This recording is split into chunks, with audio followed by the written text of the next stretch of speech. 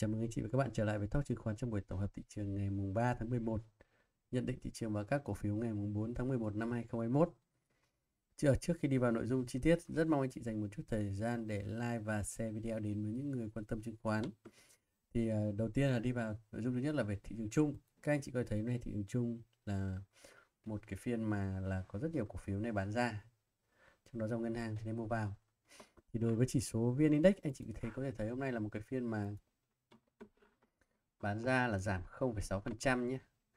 Và khối lượng giao dịch là 1,45 tỷ cổ phiếu. Hôm nay là kỷ lục về giao dịch đúng không ạ? Kỷ lục về giao dịch. À, thì khối lượng lớn tuy nhiên là cái biên độ như thế này thì không phải là nhiều đấy chị nhé. Không phải là nhiều. Thì anh chị nhìn đối với index thì các anh chị thấy thì bản chất là nó vẫn là một xu lên. Nhìn xu lên.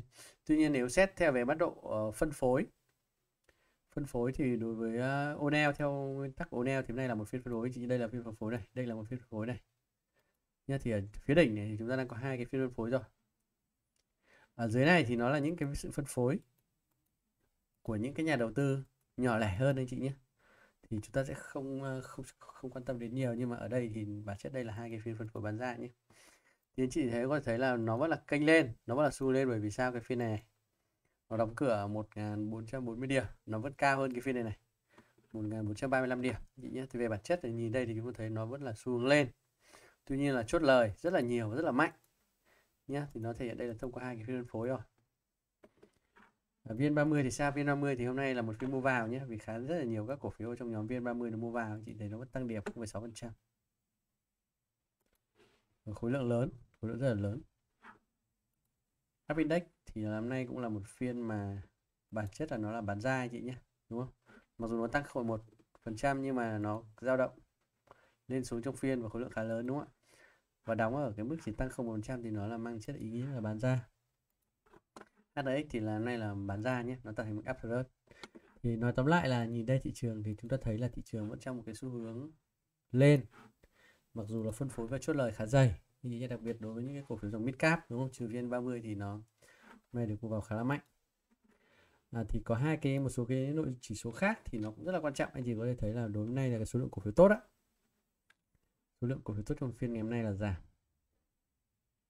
Khá là nhiều anh chị nhé. Nó thủng cả cái đường uh, trung bình này rồi nhé. Nó thấp nó thấp hẳn xuống này. Và điểm số bình quân của các cổ phiếu đó đương nhiên đây là những cổ phiếu thanh khoản rồi. Thì các anh chị thấy giảm 2,2% này đúng không? Sụt 2,2% này. Đó thì nhìn đây có thể thấy là là số lượng cổ phiếu tốt là có cái sự sụt giảm và điểm số trung bình của các cổ phiếu mà có cái thanh khoản đều đặn đã bị giảm rất là nhiều. Thì đây là những cái góc mà cũng nhìn là tiêu cực nhé nếu chúng ta nhìn thì cái này nó là tiêu cực này, cái này là tiêu cực này.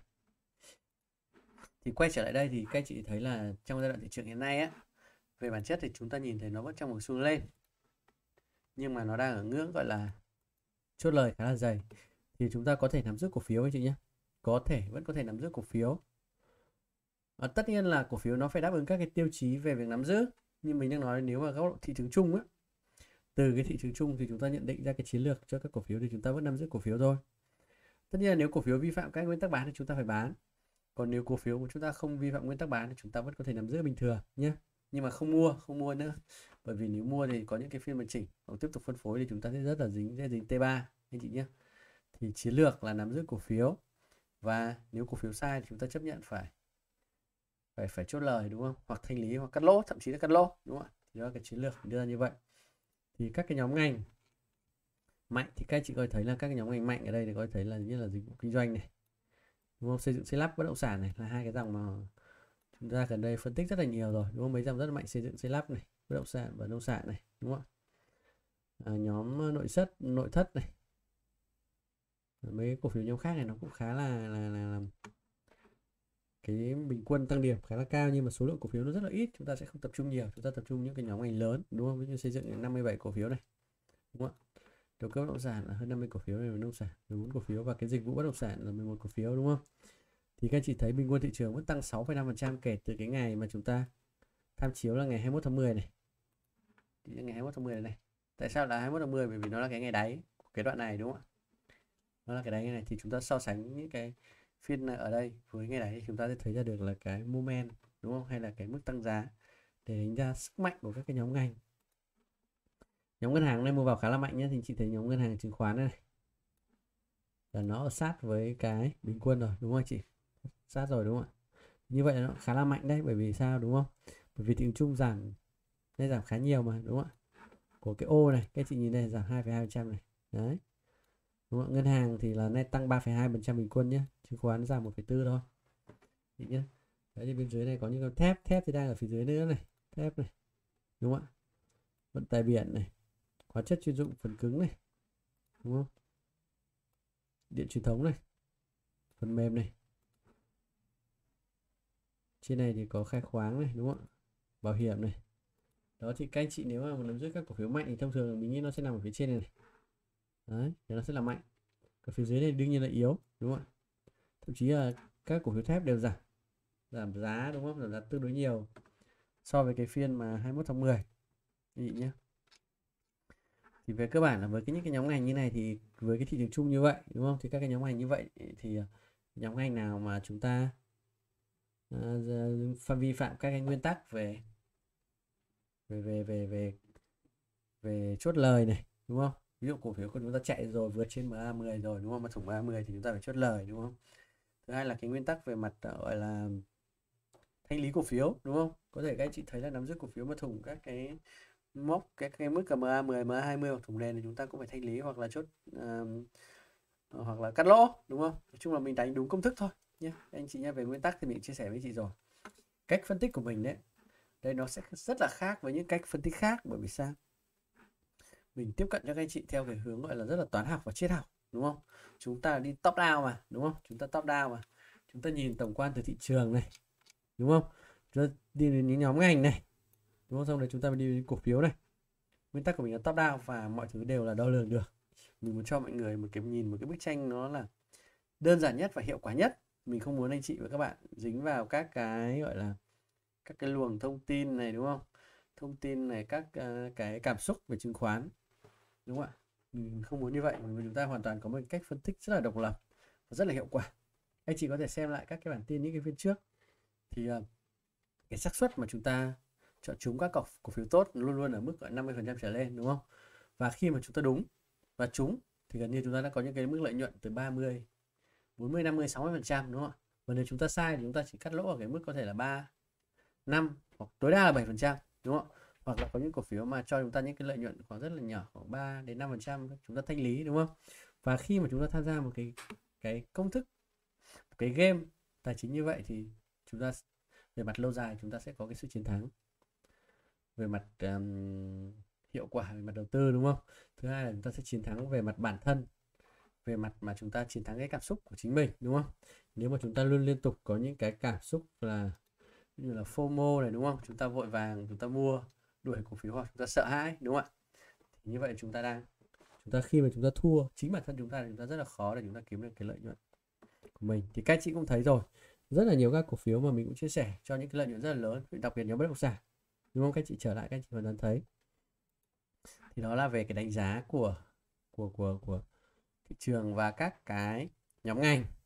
Thì đi vào cái cổ phiếu của ngày hôm nay thì các chị thấy file share này mình sẽ gửi tặng các chị trong cái nhóm vip hàng ngày nhé anh chị nào mà không thuộc cái nhóm vip mà muốn nhận cái file sale này này thì anh chị có thể là uh, like video và comment. Sau đó inbox thì mình sẽ tặng anh chị cái file này anh chị nhé. Thì hôm nay số lượng mặc dù là thị trường bán ra đúng không? Vn ờ, index bán ra nhưng mà các cổ phiếu bùng nổ nó tập trung vào những cái nhóm ngành. Có một vài cổ phiếu về bất động sản thôi đúng không? Rất nhiều cổ phiếu về ngân hàng này. Đúng không ạ? Xây dựng một số thôi. Nói chung này số lượng cổ phiếu bùng nổ rất là ít. Có khoảng à, hơn bốn chục thôi. Mọi hôm khoảng là một hôm rất là nhiều đúng không? mọi hôm có khi trăm mười mấy cổ phiếu bùng nổ cơ thì anh chị thấy là hôm nay dòng ngân hàng đã đóng góp cái điểm số cho thị trường rất là lớn đúng không ạ? Còn những cái nhóm khác thì không không đáng kể. Đó thì các anh chị nhìn ở đây có thể chọn các cổ phiếu mạnh nhất ở đây. Nếu chỉ sử dụng vai xe này có thể chọn các cổ phiếu thông thường các cổ phiếu nắm giữ mà trên MA10 như này này. Chúng ta sẽ yên tâm nhé bất động sản cũng còn rất nhiều chứng khoán nhiều đúng không? Cái chị thấy bất động sản tiếp dịch vụ vận tải này hóa chất cơ bản này ngân hàng. Ngân hàng khá là nhiều trên MA10 rồi đúng không ạ? Thủy sản ok đúng không? Thực phẩm sản xuất này. Đấy, xây dựng xây lắp xây dựng này rất là mạnh này. Nhiều cổ phiếu rất là thành công rất lớn anh chị nhé. Đó thì à, đi vào cái giả soát cái danh mục chi tiết.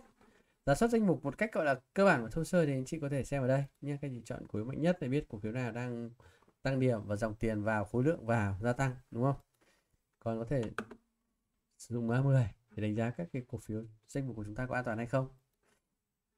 Về đánh giá về cái cái cái danh mục của các anh chị ấy, thì hôm nay mình sẽ đánh giá một số nhóm một số nhóm ngành chính như anh chị nhé.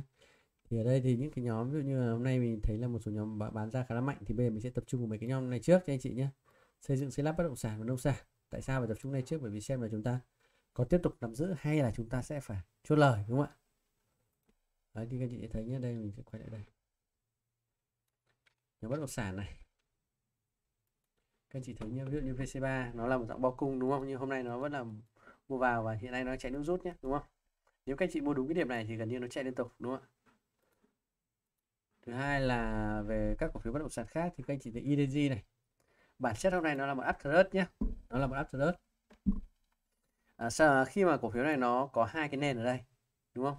Thì nó có cái điểm bùng nổ vào nền xong nó chạy rất là mạnh. Thì giai đoạn này này gọi là chạy uh, chạy nước rút này chị nhé chạy nước rút đúng không? Nếu chúng ta mua nắm giữ cổ phiếu này thông thường chạy nước rút chúng ta có thể chốt lời 30 phần trăm. Và cái phiên này gọi là một phiên uptrend này. Uptrend các chị viết nó viết như này nhé tiếng anh nó sẽ viết. Uptrend này đúng không?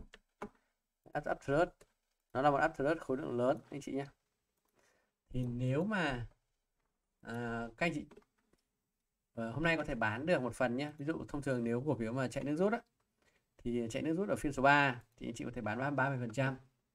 Sau đó mà uptrend khối lượng lớn như này thì có thể bán tiếp 30 phần trăm.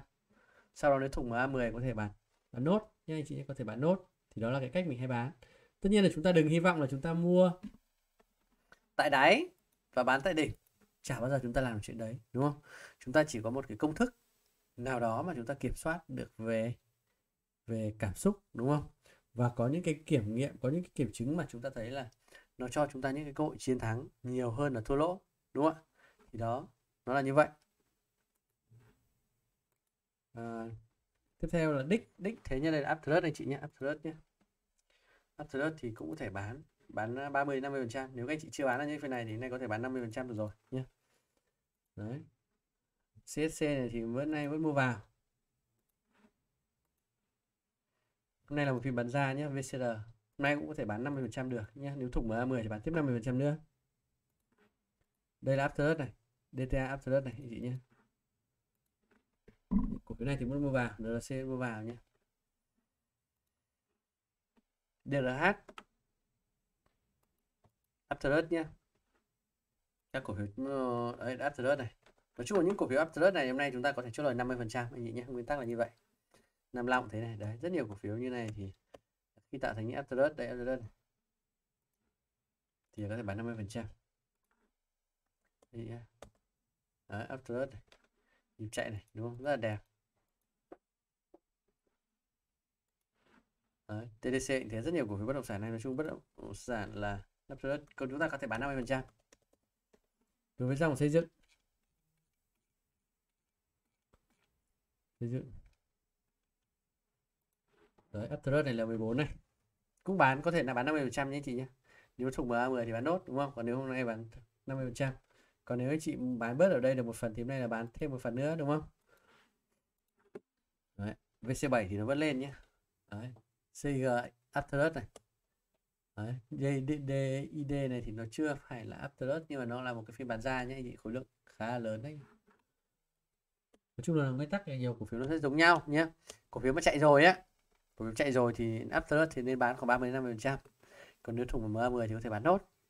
Còn nếu hoặc trừ khi anh chị quyết định này anh chị nắm giữ cổ phiếu này này đánh đánh đánh đánh đánh dài trung hạn luôn đúng không? Các chị bảo ok là chúng tôi như vậy thì chúng tôi đánh đây là một nhịp. Ví dụ thế ví dụ đây là một nhịp rồi như này cho anh chị một cái nhịp đúng không? Từ giá 100 lên giá 216 100 phần trăm rồi đúng không? Cổ phiếu lâu 14 tăng rất là mạnh đúng không từ đấy lên uh, 216 là 100 phần trăm rồi. Và tôi sẽ xác định là cổ phiếu này nó lên tôi sẽ đánh tiếp một nhịp nữa đúng không? Thì các anh chị đánh tiếp nhịp nữa thì các chị sẽ tiếp tục nắm giữ đúng không ạ? Thì mà nếu nắm giữ thì các anh chị lưu ý là cũng phải cho nó hít thở đúng không? Một cái biên độ này khoảng bao nhiêu phần trăm đấy?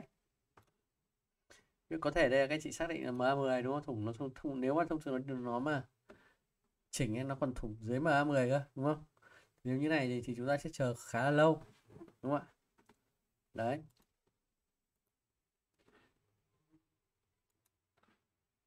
PC7 rồi này đúng không?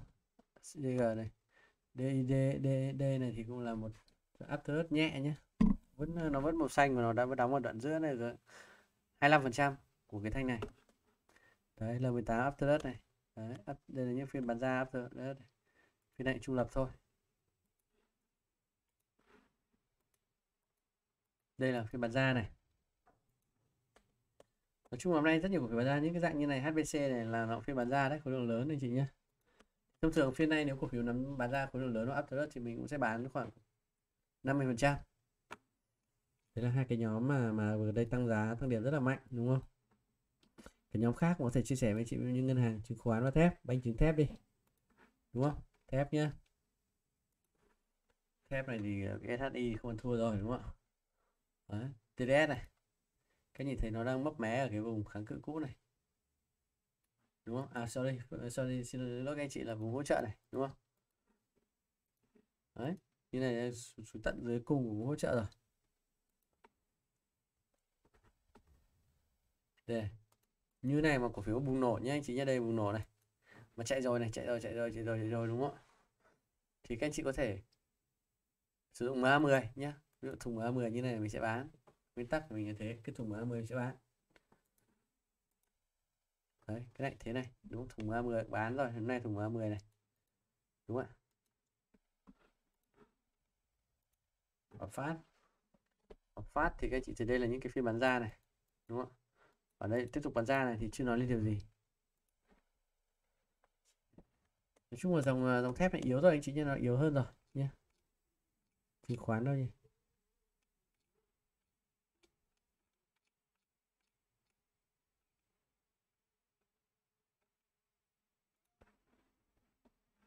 APS tạo thành Afterburst này đúng không ạ? Đấy BSD này thì chưa này. VFS Afterburst này. Đấy, như này là phiên bán ra này rớt này. Đấy đúng không? Phiên bán ra. FTS thì ok vẫn đi lên. FVS này thì cũng đi lên đúng không ạ?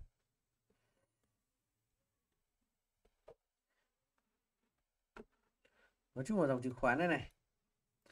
Thì uh, các anh chị thấy là cơ bản là cũng vẫn nắm giữ được anh chị nhé. Dòng chứng khoán này cơ bản vẫn nắm giữ được chưa vấn đề gì đâu. Trừ khi nó vi phạm các nguyên tắc bán thôi. Ví dụ như này như AGR như này là điểm mua bùng nổ nhé anh chị, đúng không? Điểm bùng nổ thì theo mình ờ, thông thường mình sẽ bán cái thùng A10 đúng không ạ? Còn không có thì mình vẫn nắm giữ thôi. Dòng chứng khoán này khá ổn hơn nhé rất nhiều cổ phiếu là vượt đỉnh cũ rồi. Những PSD là vượt đỉnh cũ thôi. HBC nhé đúng không? Khối lượng mua vào này. HBS đi.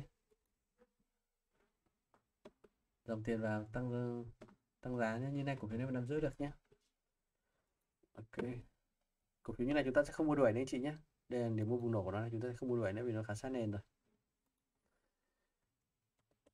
Ok, tiếp theo nhóm ờ, ngân hàng. Ngân hàng này bùng nổ nhiều đúng không? Mình sẽ nói về ngân hàng nhé nhìn thấy ngân hàng này, ví dụ như là KLB này. KLB này thì đây là vượt nền này, đang chạy đúng không? Thì nắm giữ được. Cái này thì thứ thực ra cổ phiếu này là những cổ phiếu hồi phục cho anh chị nhé cách nhìn thì đây là một nhịp này nó rơi rơi rơi rơi này lên hồi phục đi ngang hồi phục thôi. Khả năng lên thì có thể còn thấp lắm nhé nó còn vì nó có cái vùng kháng cự đây rất là dày. Nên nó có cái vùng kháng cự chỗ này, này rất là dày. NVB nhé thế mua vào.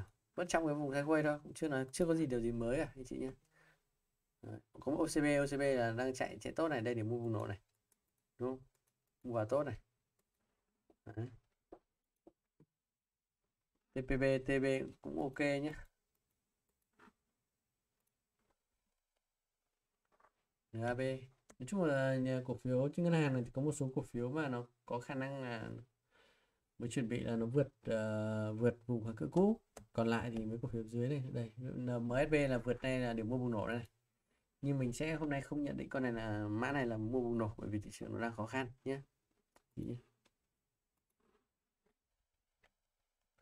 chung là các bạn là xu xuống rồi những cổ phiếu xu xuống này chúng ta sẽ bỏ qua. Chị nhé. Đó thì đó là những cái nhận định của mình thì các chị thấy là hàng ngày mình cũng đều nhận định như vậy đúng không? Các chị có thể sẽ không nhìn thấy cái sự uh, phức tạp không nhìn thấy cái sự thần bí nhưng đây nó là cái cách tiếp cận rất là hiệu quả anh chị nhé. Rất là hiệu quả và khách quan và đơn giản. Đó thì hy vọng là với những cái chia sẻ ở đây cũng phần nào giúp đỡ giúp ích cho anh chị trong cái hoạt động đầu tư được tốt hơn. Và cuối cùng thì các anh chị đừng quên là nhấn nút quả chuông để nhận các thông tin mới nhất từ kênh và subscribe kênh. Ok cảm ơn các anh chị. À, chào tạm biệt. Chúc các anh chị uh, đầu tư vào một thành công và may mắn. Cảm ơn các anh chị.